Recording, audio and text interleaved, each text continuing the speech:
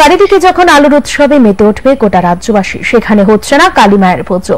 একমাত্র লোহার সেতু সারায় গন্ডাছড়া পূর্ত দপ্তরে খামখেয়ালি পনায় ত্রিশ কাঠ সৎসঙ্গ ক্লাবে এবছর শ্যামা মায়ের পুজো হচ্ছে না। বুধবার দুপুরে ভাঙা ব্রিজের সামনে এ নিয়ে এলাকাবাসীরা বিক্ষোভ প্রদর্শন করেন। লোহার সেতু সারায় গন্ডাছড়া পূর্ত দপ্তরে খামখেয়ালি পনায় ত্রিশ কাঠ সৎসঙ্গ ক্লাবে এবছর শ্যামা মায়ের পুজো হচ্ছে না।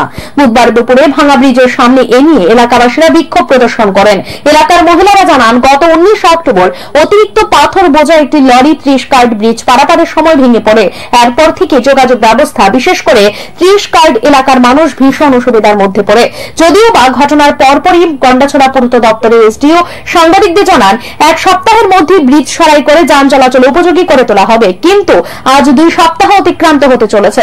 এখনও পর্যন্ত দশ শতাংশ সারাইয়ের কাজ সম্পূর্ণ করতে পারেনি দপ্তর, যার ফলে প্রতিনিয়ত দুর্ভোগে পড়তে হচ্ছে। স্কুল, কলেজের ছাত্রছাত্রী থেকে শুরু করে ত্রিশ কার্ড এলাকাবাসীরা। যদিও দপ্তর থেকে আপাতকালীন শর্মা নদীর উপর একটি বাঁশের সাঁকো তৈরি করে দেয়, কিন্তু বাঁশের সাঁকো দিয়ে চলাফেরা করতে সাধারণ মানুষের ভীষণ অসুবিধা হচ্ছে। তাতে অনেক সময় দেখা যায় অনেকে পা পিছলে গিয়ে গুরুতরভাবে আহত হন।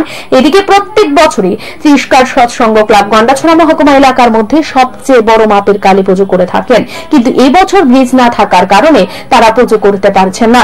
যদিও পূর্ত দপ্তর এসডি রথীন্দ্র দেববর্মা তাদের আশ্বাস দিয়েছিলেন, কালী পুজোর আগে লোহার ব্রিজটি সারাই করা হবে। কিন্তু ওনার কথা শুধু কথাই রয়ে গেল। এ নিয়ে এলাকাবাসীদের মধ্যে ক্ষোভ দেখা দিচ্ছে। এলাকার মহিলারা হুঁশিয়ারি দেন আগামী কিছুদিনের মধ্যে ব্রিজের কাজ সম্পন্ন করা না হলে রাস্তা অবরোধ থেকে শুরু করে পূর্ত দপ্তরের অফিস ঘেরাও করা হবে। এখন পূর্ত বাবুরা ব্রিজ সারাই কি ব্যবস্থা গ্রহণ করে এটাই দেখার। ব্রিজটা ভাঙার পরে আমরা যে অসুবিধা হইতেছে একটা রুগলিয়া যাওন যায় না একটা পোলা পান স্কুলে পাঠান যায় না এরপরে দা কইছে পনেরো দিনের ভিতরে আমরা রিস্কি ওটা করে দিব ফুলটা করে দিব। ফুলটা করার কোনো সত্য নাই।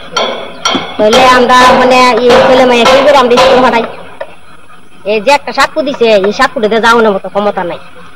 আমি নিজে যেতে পারি না, আমি পোলা মাইয়া কেমনি কীভাবে হার করব? এই সাক্ষু দিয়া। তারপরে আমরা দাবি আসতো কিটা? একটা তরজা করে দিয়ে আমরা সাক্ষুটা দিয়া দেব। আপাতত আমরা স্কুলে যাইতাম যাইতাম, ফুলাফান আনতাম, নিতাম, বাজারে যাইতাম করতাম।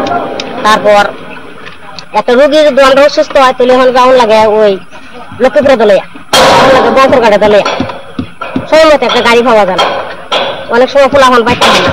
তাহলে ফোন টোন করার অসুবিধা। আমরা এখন কি করে যাব? আর যে একটা সাক্ষু দিছে এই যদি আমরা ফাইরে যাইতাম পারি তাহলে ব্রিজের চার বন্ধ, পাঁচ বন্ধ করে এক বন্ধ ফুল হয়েছে না। রিপোর্ট দৃষ্টি।